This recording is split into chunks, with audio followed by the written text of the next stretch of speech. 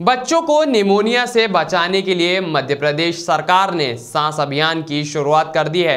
राजधानी के Minto hall में आयोजित कार्यक्रम में स्वास्थ्य मंत्री प्रभुराम चौधरी ने अभियान की शुरुआत की। बता दें कि प्रदेश में निमोनिया से बच्चों की मौत की दर 15 प्रतिशत है। निमोनिया जागरूकता अभियान के तहत पाँच वर्ष तक के बच्चों को निमोनिया से बचाने के लिए अभियान चलाया जाएगा। स्वास्थ्य विभाग ने अभियान को लेकर अपनी तैयारी पूरी कर ली है। Awareness action. To pneumonia successfully. Neutralize the pneumonia successfully. यहाँ पर हम लोगों ने मध्य प्रदेश से बाहर से मास्टर ट्रेन मास्टर ट्रेनिंग आए हैं। वो प्रदेश के लोगों के लिए ट्रेन करेंगे यहाँ से।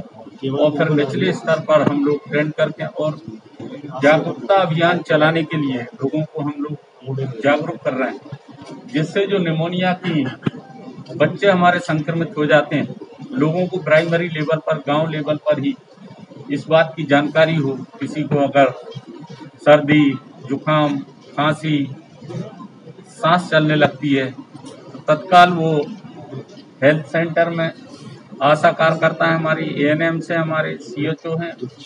वहाँ पर जाकर जल्दी उनका हम इलाज कर सकें। और इसकी रोकथाम के लिए। बाकी हमारे डॉक्टर्स हैं और सारा जो स्टाफ है सबके लिए जो एक मॉड्यूल तैयार किया गया उसके अंतर्गत सभी हमारे जो एसएनसीयू में कार्यरत अमला है पीआईसीयू में है नीचे सब सेंटर लेवल पर है। सबको प्रशिक्षण किया जाएगा सबको जागरूक किया जाएगा।